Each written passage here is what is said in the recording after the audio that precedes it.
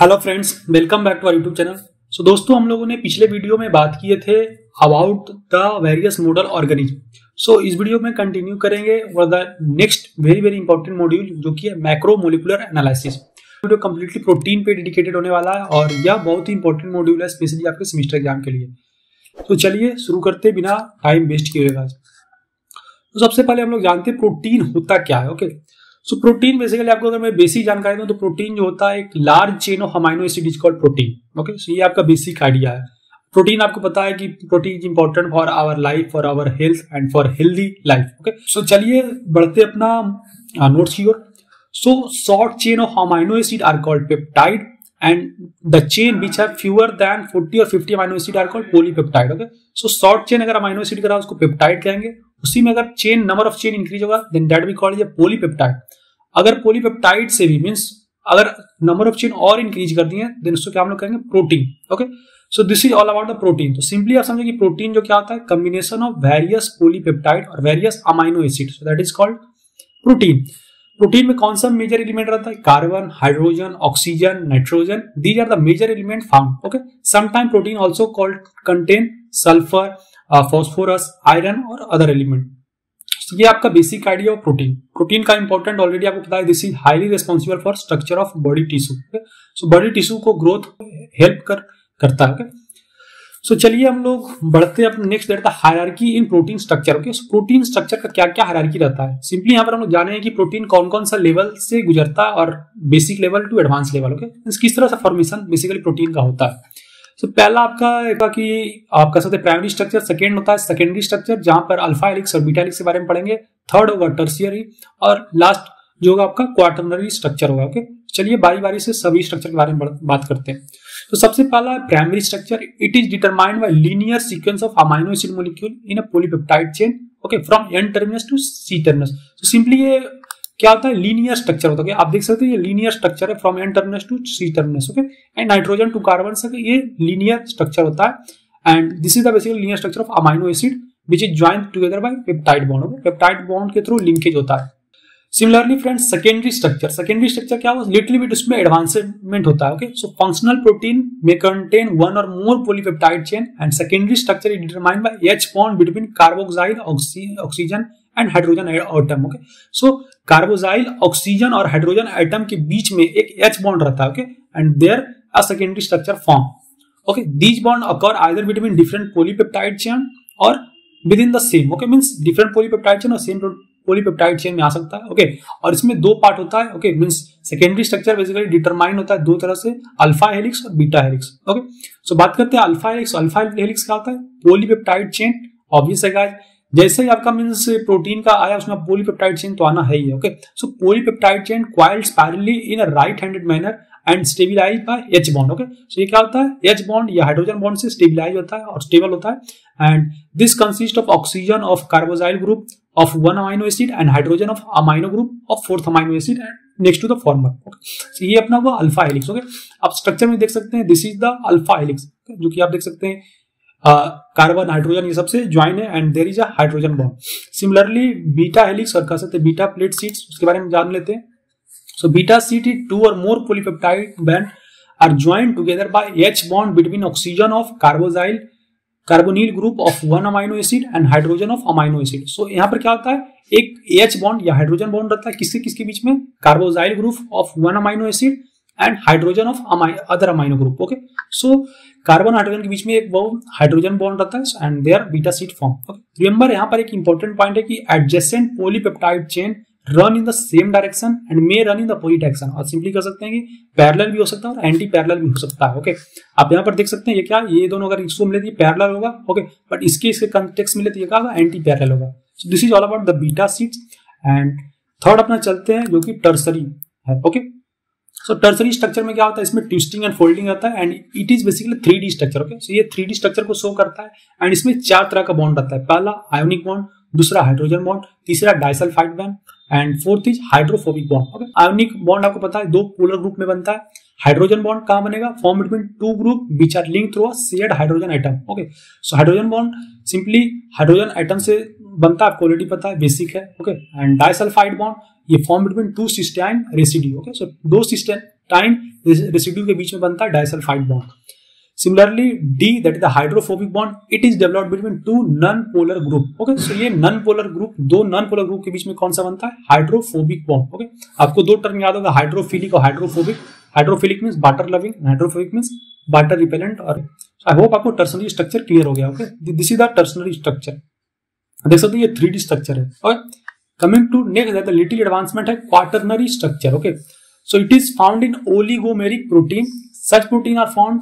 of more than one polypeptide chain and each chain having own primary secondary tertiary structure. इसमें क्या होता है? हर एक का चेन का, खुद का प्राइमरी सेकेंडरी और टर्सरी स्ट्रक्चर होता है ओके सब कह सकते ये थोड़ा कम्प्लेक्स स्ट्रक्चर होता है इन कंपेरिजन टू अदर जैसे जो हम लोग पहले पढ़े okay and each polypeptide chain function as subunit of protein okay so हर एक पोलीपेप्टाइड चेन होगा जो कि प्रोटीन का सब यूनिट की तरह फ़ंक्शन करता है। Quaternary structure stabilise by non covalent forces as in case of tertiary structure okay so ये स्टेबलाइजेशन कैसे अचीव करता है? Through non covalent forces okay covalent non covalent fractures आपको ऑलरेडी बताया कि कोवैलेंट बॉन्ड में कोवैलेंट फोर्सेस एग्जिस्ट करता है नॉन कोवैलेंट बॉन्ड में नॉन कोवैलेंट स्ट्रक्चर एग्जिस्ट करता है। सो आई होप आपको यह स्ट्रक्चर आपका हायरार्की आपका क्लियर हो गया होगा। सो so, चलिए अपना नेक्स्ट इंपॉर्टेंट पार्ट में बढ़ते हैं जो कि है protein classification on the basis of function okay so किस तरह से हम लोग प्रोटीन को क्लासिफाई करेंगे? फ़ंक्शन के अकॉर्डिंग सो so, चलिए बढ़ते हैं। सबसे पहला है on the basis of enzyme such protein act as a biocatalyst okay biocatalyst आपको ऑलरेडी पता होगा कैटलिस्ट या कैटलिसिस के बारे में पता होगा कि जो कैटलिस्ट वैसे सब्सटेंस को कहते हैं, जो कि केमिकल रिएक्शन को इंक्रीज करने में मदद करता है ओके सो इंजाइम इज़ और this type of protein act as a biocatalyst okay and help in catalyzing different chemical reaction they are responsible for metabolic regulation and control physiological activity okay example आपका हो गया oxidoreductase या transferase या hydrolase lyase isomerase ligase okay so आप ये एक दो example याद रखें। सब एग्ज़ाम्पल याद रखने की ज़रूरत नहीं है एक दो एग्ज़ाम्पल याद रखें। So this is all about the important classification that is enzyme okay second classification protein का क्या होता है? ट्रांसपोर्टर्स ट्रांसपोर्टर्स वर्ड से क्लियर है कि it help to transfer the information okay so such protein act as a physical carrier of other functional important and smaller molecule example इसका permease transport specific molecule और ions across the cell medium okay और cell membrane के across जो है, ये transfer करने और information transfer करने में मदद करता है okay haemoglobin transport respiratory gases आपको पता है हेमोग्लोबिन के थ्रू ही हेमोग्लोबिन एक तरह का प्रोटीन है इसके थ्रू क्या होता है रिस्पायरेटरी गैसेस को, खासकर ऑक्सीजन वगैरह को कैरी करता है। Similarly P protein help in transfer of organic compound through phloem okay xylem phloem आपने प्लांट में पढ़ा होगा सो यहाँ पी प्रोटीन भी एक्ट करता है। मीन्स आप कह सकते हैं कि ट्रांसपोर्टर का काम करता है। थर्ड आ जाएगा सिमिलरली ये भी याद होगा आपको serum aluminium transfer fatty acid और lipid in blood okay so serum albumin ये भी एक तरह का प्रोटीन है जो कि फैटी एसिड और लिपिड को ट्रांसफ़र करने में मदद करता है। थर्ड इंपॉर्टेंट क्लासिफिकेशन है on the basis of receptor okay so such protein are present on cell membrane okay क्योंकि जितना रिसेप्टर होता है, अधिकतर जो होता है सेल मेम्ब्रेन पे ही प्रेजेंट होता है okay they bind specific hormone और neurotransmitter and make the cell receptive for their effect example है इसका एफ़ एस एच रिसेप्टर या इपिनिरफाइन रिसेप्टर या ऑक्सीटोसिन रिसेप्टर सो ये सब इंपॉर्टेंट रिसेप्टर है जो कि एज ए रिसेप्टर की तरह काम करता है जो कि सेल मेम्ब्रेन पे प्रेजेंट रहता है सो आई होप आपको तीनों क्लासिफिकेशन क्लियर हो गया इंजाइम ट्रांसपोर्टर एंड रिसेप्टर तो चलिए बढ़ते अपना नेक्स्ट क्लासिफिकेशन जो कि है स्ट्रक्चरल एलिमेंट ओके सो ये वर्ड से क्लियर है स्ट्रक्चर एलिमेंट मीन वैसा प्रोटीन जो कि हमारे बॉडी स्ट्रक्चर को फॉर्मेशन में मदद करे ओके चलिए नोट्स की ओर बढ़ते हैं। Cell protein serve as building material of cells and tissue and these are essential for production protection growth and repair okay so growth repair में ये मदद करता है। एग्ज़ाम्पल आपको बताया matrix of connective tissue contain collagen and elastin protein okay so दो protein का नाम है कोलेजिन इलास्टिन प्रोटीन जो कि कनेक्टिव टिश्यू में प्रेजेंट रहता है okay and matrix of cartilage contain chondrin protein matrix of bone contain ossein protein similarly our skin और protective covering it contain the keratin protein okay so आपका जो hair रहता है ओके मीन्स हेयर का growth में या hoofs का growth में या नेल नाखून जो बढ़ता है, ये सब में कौन सा प्रोटीन रहता है? Important protein that is keratin protein okay आपने केरेटिन वगैरह का नाम भी सुना है, अगर आपने शैम्पू वगैरह अगर देखेंगे तो आप शैम्पू के पीछे देखिएगा, कहीं ना कहीं केरेटिन लिखा होगा ओके सो केरेटिन प्रोटीन ही ग्रोथ हेल्प करता है हमारे हेयर को ग्रोथ में नेल ग्रोथ में और स्किन ग्रोथ में। सो आई होप आपको क्लियर हो गया structure element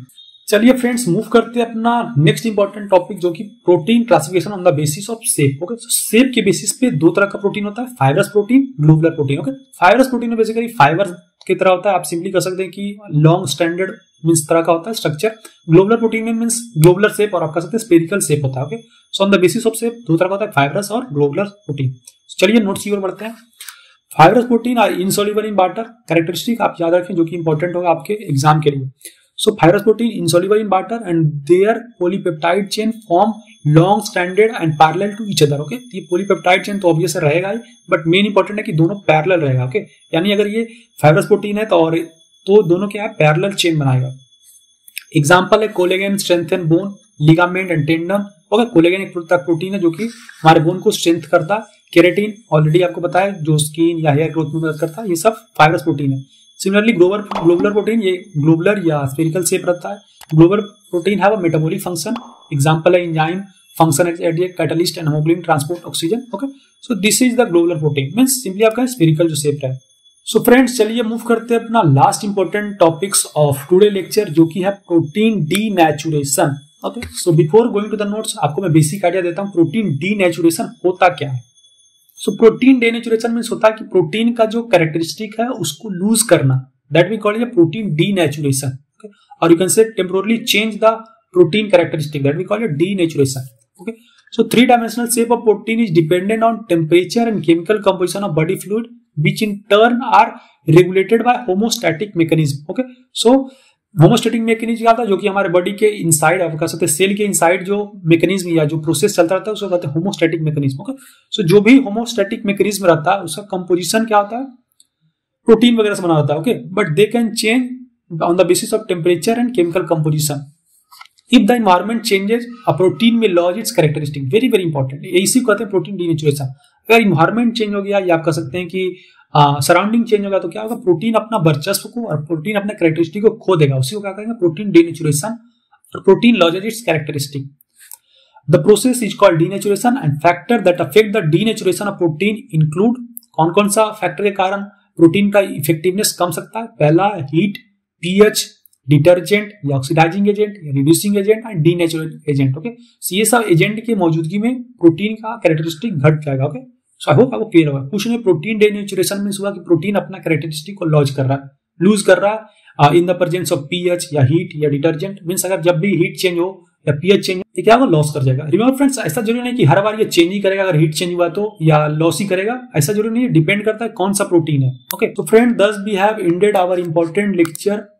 of this that is we have understood about the protein I hope आपको ये वीडियो मज़ा आया होगा, आपको समझ में आया होगा। कुछ भी समझ नहीं आया है feel free to ask comment है और ज़रूर हमारे चैनल को सपोर्ट करें शेयर करें सब्सक्राइब करें। और अभी तक अभी तक अगर आपने हमारे स्टडी ग्रुप को ज्वाइन नहीं किया मस्ट ज्वाइन देयर क्योंकि मैं वहाँ ऑलरेडी नोट्स वगैरह शेयर कर रहा हूँ। सो देरी किसका बात है भाई, आप लोग ज्वाइन करें फ्री है ओके और आपको ऑर्गेनाइजर वगैरह सब कुछ वहाँ प्रोवाइड किया जा रहा है। सो आप लोग सपोर्ट करें और ये वीडियो को ज़्यादा से ज़्यादा शेयर करें। सो चलिए मिलते हैं नेक्स्ट लेक्चर में। बाबा meet you non experience thank you